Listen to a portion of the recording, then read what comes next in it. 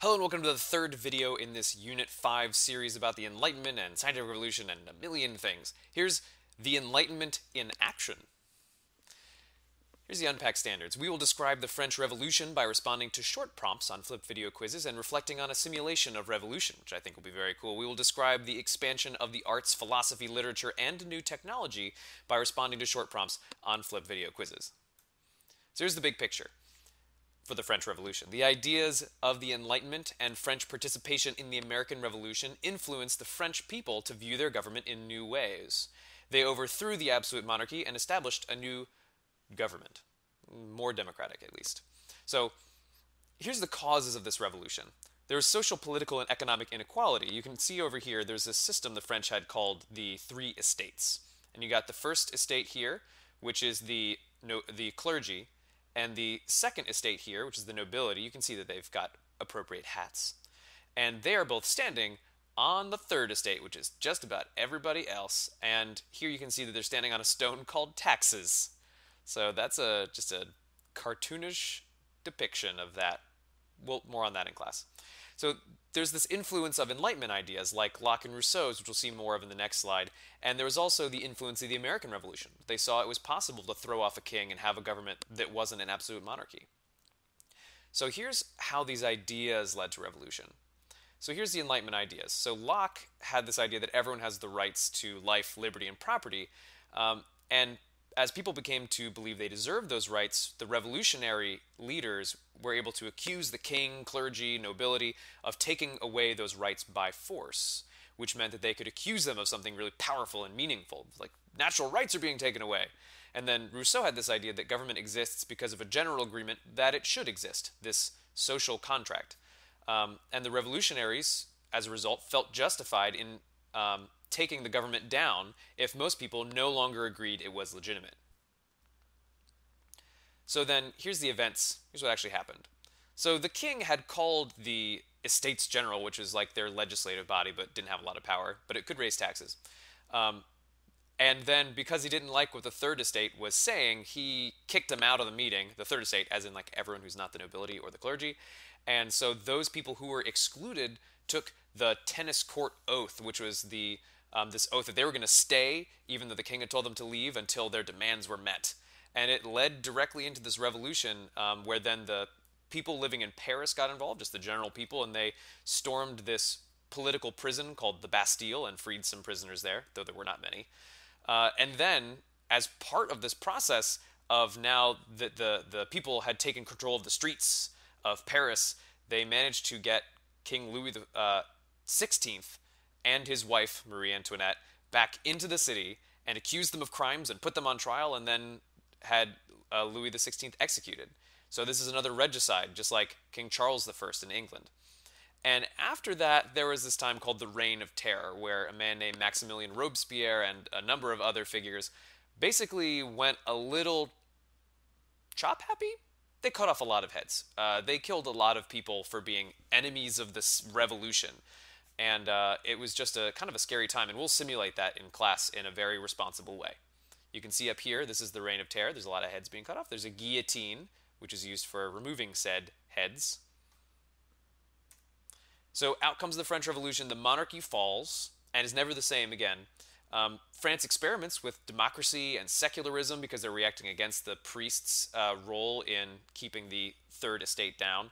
And but that doesn't actually last all too long. And Napoleon eventually uh, removes that democratic government and declares himself emperor. He was this powerful general who was very successful um, and manages to become an emperor where once there were kings.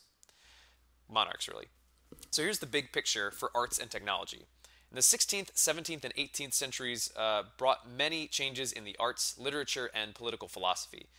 The Age of Reason witnessed inventions and innovations in technology that stimulated trade and transportation. So, to clarify, let me tell you right here the Age of Reason a lot of times is either the same as or significantly overlaps with the Enlightenment.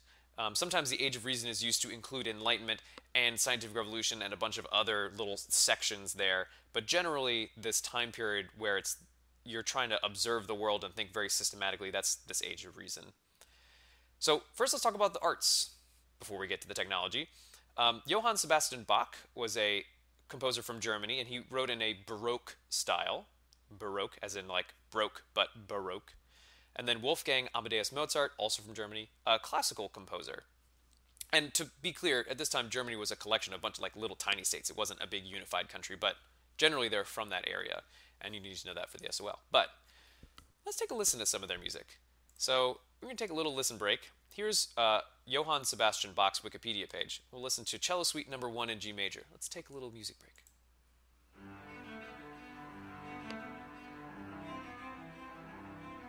You can hear it's very intricate. It's very interesting. It's like and that's what Baroque is. It's all about lots of uh, very intricately arranged notes all working against one another, especially in um, full concert music. And here's Wolfgang Amadeus Mozart's page, and he wrote this opera called Don Giovanni, which we're going to listen to the overture from.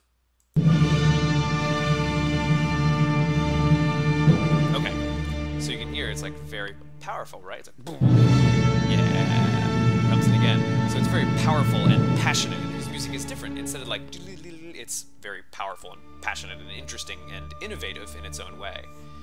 And I'll let you listen to it. Now it's quiet. To spend too long. I highly recommend both of those composers. I studied a lot of music in college. Okay, here's uh, some in innovations in literature. Uh, Miguel de Cervantes uh, from Spain wrote Don Quixote, the first European novel. You can see a picture of him here. He was a man who really wanted to be a knight was really terrible at it. So, not Cervantes, the Don Quixote. That's Don Quixote. All right.